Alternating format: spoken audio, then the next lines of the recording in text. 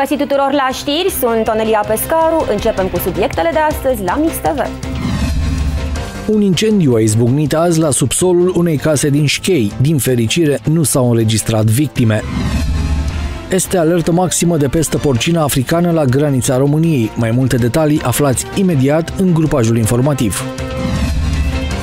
Sora lui Vadim Tudor a fost scoasă cu poliția din casa de la Bran. De cine și de ce, vă spunem la știri. Elevii brașoveni cu rezultate deosebite la învățătură au de acum toate condițiile pentru a face performanță. În grupajul informativ de astăzi aflați cum este posibil acest lucru. Subsolul unei case din Șchei a fost cuprins de flăcări. Focul a izbucnit în jurul prânzului pe tocile. Flăcările au deteriorat două camere, mobilierul și haine. Potrivit portatorului de cuvânt al Inspectoratului pentru Situații de Urgență Brașov, capitanul Ciprian Sfreja, pompierii au intervenit cu două autospeciale cu apă și spumă și au reușit să împiedice focul să se extindă. Incendiul a izbucnit din cauza unui scurt circuit și nu s-au înregistrat victime. Sunt speranțe să vină apa caldă. Serviciul public de termoficare al Brașovului a intrat în linie dreaptă. După ce în urmă cu două săptămâni a fost obținut codul de înregistrare fiscală, a fost aprobat și bugetul de venituri și cheltuieli pentru 2016. Consiliul Local a alocat peste 6 milioane de lei drept subvenție pentru încălzirea Brașovului. Pentru punerea în funcțiune a noului serviciu public de termoficare al Brașovului, care va lua locul societății Tetcron, este necesară în primul rând licențierea acestuia. Consilierii locali au aprobat cuantumul subvenției care va fi alocată în acest an pentru plata diferenței între prețul plătit de populație și cel real de producție. Astfel, în cadrul rectificării de buget aprobată în ședința de vineri la propunerea Comisiei de Buget Finanțe, a fost aprobată drept subvenție pentru acest serviciu suma de 6.193.000 de lei, din fondul de rezervă care este de peste 17 milioane de lei.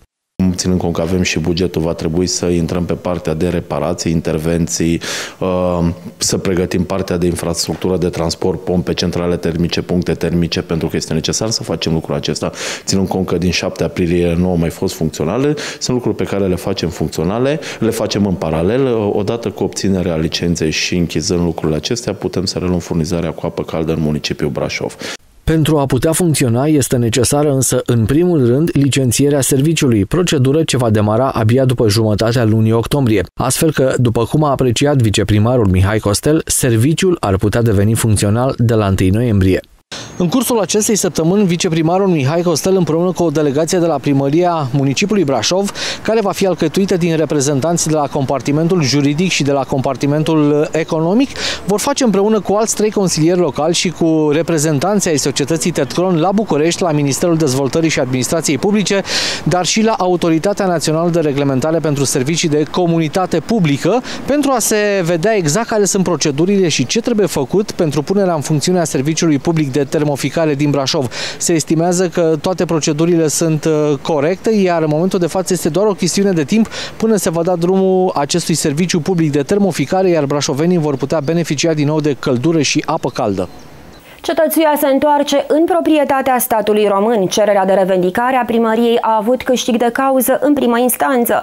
Printr-o soluție dată în procesul deschis de municipalitate pentru revendicarea cetățuiei, instanța a decis că proprietar nu este Aropalas, Prinsif Transilvania, care în ultimii ani a deținut obiectivul, ci statul român.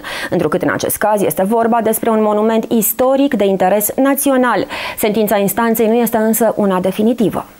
Procesul pentru revendicarea cetățuiei a început în luna martie a acestui an, după ce primăria Brașov, reclamată în acest dosar, a așteptat aproape un an declanșarea propriu-zisă a procesului. Municipalitatea a solicitat instanței să constate că Aropalas nu este proprietarul de drept al cetățuiei și că, fiind vorba despre un monument de interes național, aceasta ar trebui să fie în proprietatea municipiului sau a statului, căruia i-a cerut să intre în proces ca intervenient. Tribunalul Brașov a admis cererea municipalității și, după șase luni, a decis ca cetățuia să se întoarcă în proprietatea publică a statului român. După ce vom finaliza toate procedurile legale, uh, împreună cu Guvernul României sperăm să găsim soluții necesare pentru a fi readus în circuitul turistic, cel mai important, și în același timp trebuie să uh, transformăm cetățuia într-un punct de atracție, astfel încât nu doar uh, să mergi să vizitezi niște ziduri, ci să găsești acolo mult mai multe. Și poate putem discuta și de soluții pentru a ajunge la cetățuie, chiar acel proiect cu cremalierea poate deveni realitate. Soluția dată de Tribunalul Brașov nu este definitivă. Aropala sare la dispoziție 30 de zile de la comunicare pentru a ataca decizia instanței. Revoltător, scandalul între cele două surori ale lui Corneliu Vadim Tudor continuă. Magdalena, cea care are grijă de casa cu păpuși de la Bran de aproape două decenii, a fost scoasă în stradă cu poliția și jandarmii de executori chiar din ordinul propriei surori Lidia. Femeia abia a apucat să-și ia cu ea medicamentele, iar acum una dintre cele mai mari griji sunt animalele tribunului, pe care nu le va mai putea îngriji. E distrusă, nu știe ce vorbește, avea mâncare, avea la câini, unde, unde să mă duc, doamna Mimi?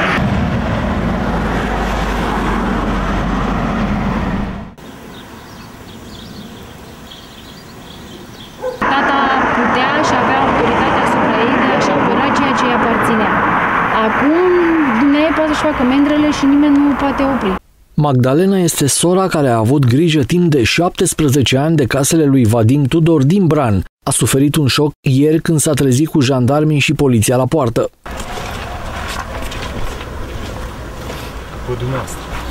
Bună ziua, ați venit să o scoateți afară din casă pe doamna Magdalena?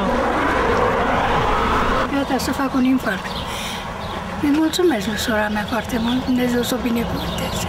Când a aflat că trebuie să-și lase casa, biata femeie abia dacă a apucat să-și ia câteva medicamente cu ea. Vecinii i-au sărit în ajutor. Nu am nimic, nu sunt medicamentele și ce Ce face? Știți, doamna Magdalena? Nu mă simt bine.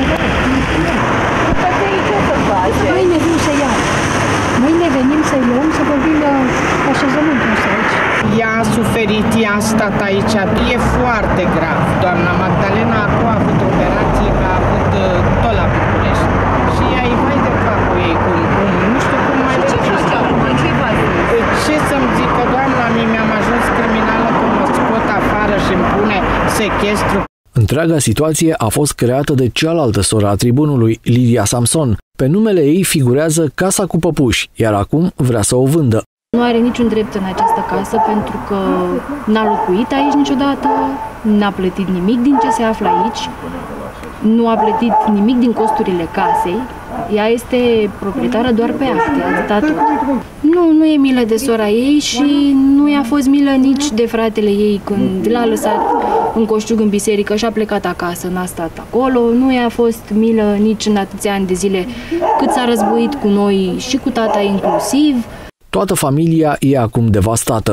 Mi se sfârșie inima că nu se mai pot veni aici, pentru că nu e vorba de o proprietate pur și simplu, e locul unde am petrecut viața lui tata, unde ne-am petrecut toate concediile cu toți prietenii noștri, am petrecut aici cele mai frumoase momente. Familia lui Corneliu Vadim Tudor are la dispoziție o lună de zile pentru a aduna toate lucrurile din casă. Pe rolul instanței se află și un dosar de apel în cazul sentinței de la judecătoria Zărnești, prin care Magdalena Dumitru a fost silită să-și părăsească locuința.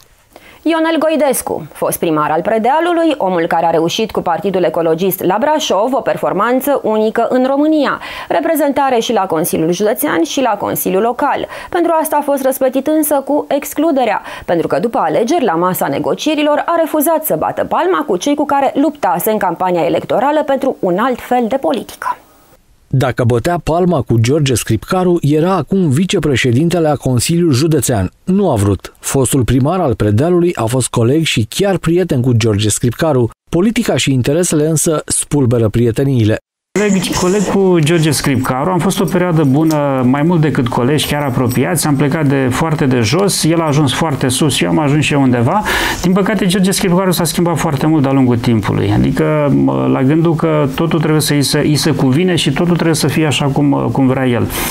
Îmi dau încă o dată dreptate că în mandatul meu de primar am făcut exact ce trebuia. De fapt, problemele mele sau eu știu, o anumită diferențe de opinii au apărut din timpul mandatului meu de primar de la Predal, pe anumite chestiuni legate de Valea Timișului. Brașovul cu Predealul nu prea... Sigur. Nu? Deci, practic, acolo a fost mărul discordiei. Niște Sigur. chestiuni politico-administrative, uh, interese cat... financiare și alte lucruri. Categoric, interese, uh, interese de, de vecini, să spun. De da grup de vecini. Uh, uh, sigur, o anumită, o anumită diferențe Rezistență. de abordare. Da? Rezistență, da? se Rezistență, spune. Nu, da? nu ați și... fost ca primarul din Săcele, unde, iată, după 8 ani au venit să spună noi n-am făcut nimic la Săcele, că...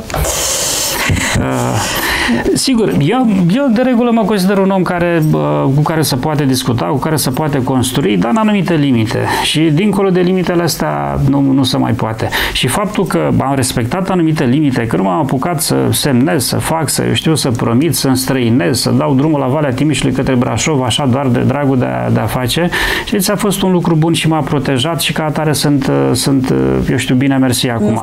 Ionel Goidescu spune că respectă votul brașovenilor care i-a adus lui George Scripcaru un nou mandat de primar al Brașovului, dar nu puteau rămâne împreună în formula de obediență impusă care anula practic proiectele ecologiste că ambiția actualului primar de a-și face majoritatea cu tot din adinsul și de a călca în picioare chiar și, eu știu, principiile de bază ale democrației, da? că votul cetățeanului contează, a dus la această situație. Pentru ceilalți brașoveni nereprezentați, Ionel Goidescu a pornit cu Mihai Sturzu, independentul care a câștigat, ajutat de mamă și de doi prieteni, 10% la primărie, un nou proiect, Partidul România Unită.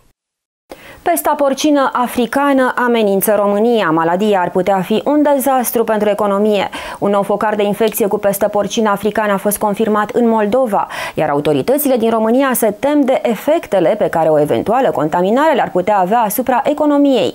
Comisia de Agricultură s-a reunit pentru a discuta despre coordonarea instituțională în vederea evitării contaminării efectivelor de porcine cu pestă africană.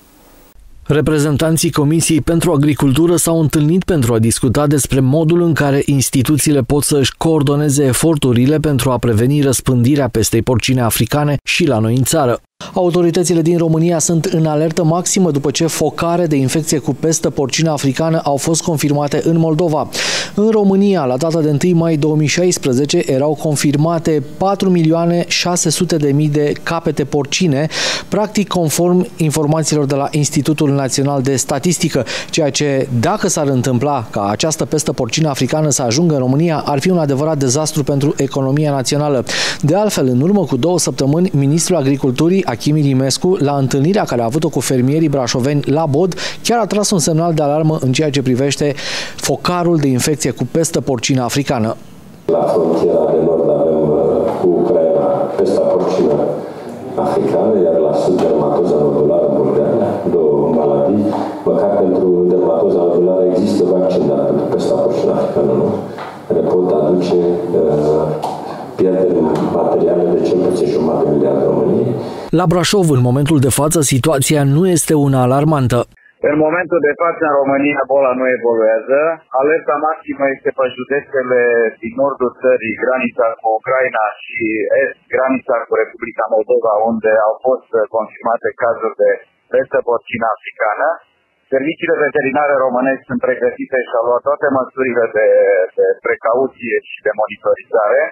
Uh, iar uh, evident că și celelalte județe ale țării, inclusiv Brașov, suntem pregătiți pentru orice fel de situație, pe care, în schimb, nu o dorim.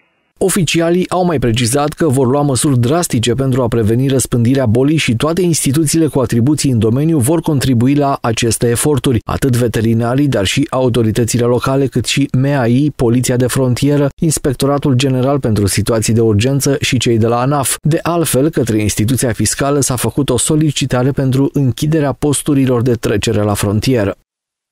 Începutul anului universitar trezește în fiecare dintre studenții de altă dată amintiri și nostalgii. Când era student căminist la silvicultură, rectorul de astăzi nu se gândea nici măcar că va rămâne la Brașov. Se pregătea să se întoarcă acasă la Bihor, inginer silvic. Despre studenția lui, care începea cu o lună de câmp la strâns recolta, profesorul Ioan Vasile Abrudan, recent premiat în China cu cea mai înaltă distinție a statului pentru un expert străin, a vorbit la Mix Actual. La vremea studenției rectorului de astăzi, școala începea cu strânsul recoltei. Venea iarna și studenții strângeau sfecla și cartofii de pe câmp. Pentru băieți, școala începea cu armata. La termen redus, care îi călea pe militarii studenți și unde se legau prietenii temeinice. Pe vremea noastră, anul universitar uh, începea, dacă vă aduceți aminte, altfel, cu acea muncă patriotică, era munca Să tradițională ne apuca, ne apuca iarna, da, ne apuca de, iarna de toamnă și, și începeam specla. Uh, cursurile mai târziu, însă aveam într-adevăr cel puțin uh, băieții avantajul că ne cunoșteam din armată, pentru că după admitere, atunci se dădea un examen foarte serios de admitere la facultate, urma stagiul militar pentru băieți, ne cunoșteam destul de bine. Și ce prietenii și, se legau în armată. Da, deja ne, ne cunoșteam. Iar uh, în ceea ce privește uh, cursurile, bineînțeles, fiecare mm, a mers cu o mare doză de emoție la primele cursuri pe care le-am avut. Eram și curios să vedem diferența dintre liceu și facultate și cred că și astăzi, dacă nu toți, o foarte mare parte dintre uh, cei care au devenit studenți au aceleași emoția. emoții specifice începutului. Sigur că nu se gândea pe atunci rectorul Abrudan la faptul că într-o zi va conduce universitatea în care era student. Dacă am fi într-adevăr uh, uh, onești cu noi înșine, cel puțin cei care am fost studenți în acea uh, perioadă, ar trebui să spunem nu numai că nu ne gândeam că vom ajunge aici, sau cel puțin în cazul meu, că voi ajunge uh, rector sau să primesc acest premiu, sincer să fiu, nici nu mă gândeam să rămân în Brașov. Uh, erau alte vremuri, venisem uh, în Brașov cu ideea de a absolvi facultatea de silvicultură și de a mă întoarce în zona de unde provin, în uh, județul Bihor și de a practica această meserie. Elevii excepționale ai Brașovului au șanse mari să facă performanță la cote și mai înalte. Asta pentru că acum pot participa la cursuri speciale în noul sediu al Centrului de Excelență situat în incinta Colegiului Nicolae Titulescu. Aici au fost deschise oficial cursurile 2016-2017 pentru elevii cu rezultate deosebite la învățătură care se vor pregăti și pentru concursuri și olimpiade naționale și internaționale. Centrul Județean de Excelență funcționează de 2 ani, începând cu anul acesta funcționează în clădirea sa. Uh, avem în jur de 450 de elevi pe 7 discipline, română, matematică, fizică, chimie, biologie, informatică, limbi moderne. Avem 30, 43 de profesori, Concurența a fost mare între elevii brașoveni care au vrut să studieze la Centrul Județean de Excelență. Aici au fost puse la bătaie 100 de locuri, iar candidați au fost 700. Este o ocazie foarte, foarte specială în viața noastră și fiindcă este o materie care ne place atât de mult, evident că ne pasionează și ne place foarte mult. Venim cu drag la cursuri. Mie îmi place la acest centru, deoarece pot performa, pot excela în ceea ce numim noi biologie, ceea ce mi-a plăcut de mult de când eram mic putem să ne pregătim mai bine pentru Olimpiade. Um, avem cunoștințe în plus, cunoștințe generale, uh, putem să ne pregătim pentru cariera noastră. Elevi copii deștepți care au nevoie de profesori dedicați și care se vor autodepăși și Brașovul va avea de câștigat. Centrul Județean de Excelență are șase săli și va funcționa cu bani de la bugetul local. Este oficial, elevii a patru școli brașovene învață totul despre animale din manuale de specialitate. Astăzi a fost deschis primul curs de educație în domeniul protecției și bunăstării animalelor din acest an școlar. Micuții unei clase de a cincea de la școala gimnazială numărul 19 au fost doar ochi și urechi la specialiștii Asociației Milioane de Prieteni, inițiatorii acestui program. Ei au răsfoit împreună atractivele manuale pe care le-au primit gratuit. Ziua animalelor a fost marcată într-un mod inedit de reprezentanții Asociației de Protecție a Animalelor Milioane de Prieteni. Aceștia au deschis primele cursuri de educație în domeniul protecției și bunăstării animalelor din acest an școlar și le-au adus elevilor manualele concepute special.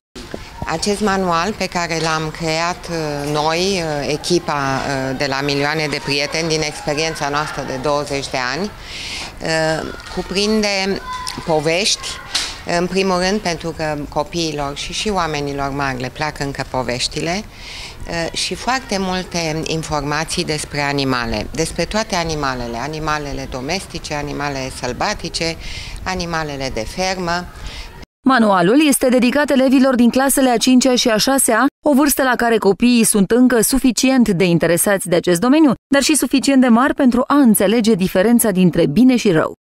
Acest manual cuprinde informații complete despre zeci de specii de animale, cât și date despre grădini zoologice și rezervații naturale. Suntem foarte mândri să fim gazdele acestui curs opțional legat de animale. Uh, elevii clasei a 5 au uh, primit cu bucurie vestea organizării acestui curs opțional și anul acesta, având în vedere că ei sunt deja pregătiți, pentru că în clasa a patra au făcut cunoștință cu acest curs. Uh, de asemenea, sunt bucuroasă să menționez că patru elevi din această clasă au fost recent admiși la Centrul Județean de Excelență la disciplina biologie și sunt uh, sigură că acele cunoștințe pe care le vor dobândi și în cadrul acestui curs vor contribui la formarea lor uh, ulterioară. Doresc să spun că animalele fac, o, uh, fac cea mai, ne ajută foarte mult în viață. Ele fac parte din, din tot ce vedem, din un, lumea nu ar fi fără animale. Animalele ne ajută să facem foarte multe lucruri și ne oferă iubire. Din acest manual am înțeles că animalele sunt foarte importante pentru viața noastră, deoarece, fără ele, viața noastră ar fi plictisitoare. Mie îmi plac foarte mult animalele, deoarece uh, îi dau un pic de culoare vieții noastre, iar uh, mie mi se pare că acest manual ne va da o impresie foarte frumoasă despre viața noastră și că ne va face fericiți despre ce vom afla. În urmă cu trei ani, la Brașov se țineau primele lecții de educație pentru protecția și bunăstarea animalelor din România, sub egida Comisiei de Bunăstare a Animalelor din cadrul Parlamentului European. De atunci, peste 1200 de copii au luat parte cu entuziasm la lecțiile susținute de angajații Asociației Milioane de Prieteni.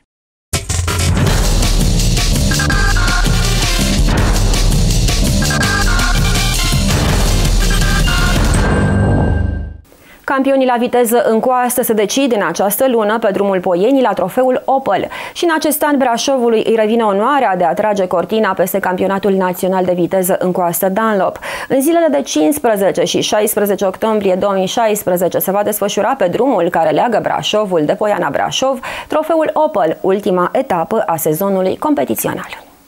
Ediția 2016 a campionatului de viteză în coastă a fost una foarte disputată, atât titlul de campion național absolut cât și titlurile altor categorii urmând să se decidă în etapa finală, iar drumul Poenii, unul dintre cele mai cunoscute și apreciate trasee românești de motorsport, este gazda perfectă pentru acest lucru. Traseul trofeului Opel are o lungime de 5 km și o diferență de nivel între start și stop de 235 de metri. Parcul de servis urmează să fie amplasat în Livada Poștei, acolo unde publicul va putea admira mașinile participante începând de vineri seara, 14 octombrie. Dimineața zilei de sâmbătă, 15 octombrie, programează manșele de recunoașteri, iar după amiaza probele de antrenamente cronometrate ce vor stabili ordinea de start în concursul de a doua zi. Înscrierile concurenților se fac până pe data de 7 octombrie.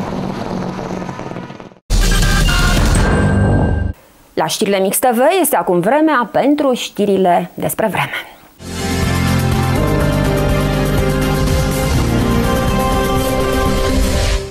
Vremea va deveni deosebit de rece pentru această perioadă a anului. În următoarele 24 de ore la Brașov, cerul va fi mai mult acoperit și local va ploua, iar precipitațiile pot deveni mixte și pot lua formă de lapoviță și ninsoare, mai ales la altitudini mari. Minimele nopții vor coborâ până la 6 grade, în timp ce maxima termică a zilei de mâine nu va depăși la Brașov valoarea de 10 grade Celsius. Doamnelor, domnilor, acestea au fost cele mai importante informații locale de astăzi la Mix TV. La Mix Actual vine doctorul Florin Orțan, șeful secției de chirurgie cardiovasculară din Spitalul Clinic Județean de Urgență din Brașov și vom vorbi despre o performanță medicală a Brașovului. Sunt Onelia Pescaru, pe curând, toate cele bune!